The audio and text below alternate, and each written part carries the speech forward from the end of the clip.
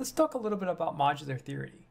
Modularity is the method of organization of small sub-pieces into a larger overall unit. The idea of modularity can easily be compared to the game of Tetris.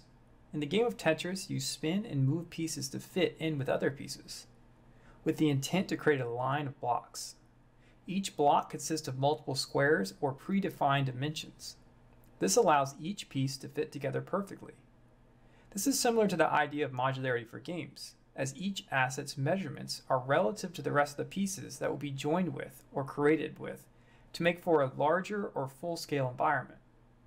The big difference between Tetris and 3D modular construction is considering the x, y, and z directions in 3D space for each asset instead of 2D like the game of Tetris. When we are working in 3D, we always need to be aware of the space each piece occupies. This space is often called a footprint of the mesh. It's how we label and understand the space that the mesh takes up in X, Y, and Z, so that we can accommodate and have other pieces that work together with cooperative footprints. Let's say I create a shape that has 100 centimeters wide and 200 centimeters tall. If I now turn that shape on its side, its footprint is changed in multiple directions and as it now takes up 200 centimeters from left to right and only 100 centimeters from top to bottom. Knowing the space that you need to fill to connect different pieces together will help you determine the dimensions of all your assets you'll be making. Also notice that we used rounded numbers.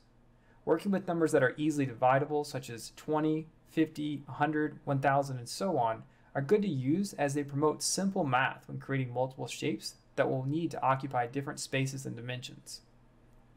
Let's take a quick look at some of the footprint sizes here. Notice to the right, there are three shapes. Each of them have a different footprint. One is 500 by 500, the next is 500 by 1000, and the last is 1000 by 1000. The sizes used here specifically allow pieces to fit together as seen below in the form of a square. This is because all the pieces are sized relative to the multiple of 500. These pieces can now be easily formed together to form a castle shape to the left. This leaves no missing spots or issues with pieces not connecting properly. This is what makes modularity a very powerful tool for both artists and designers alike.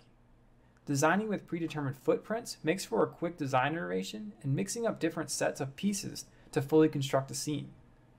We'll talk more about how design plays a role in creating our assets for modularity later on.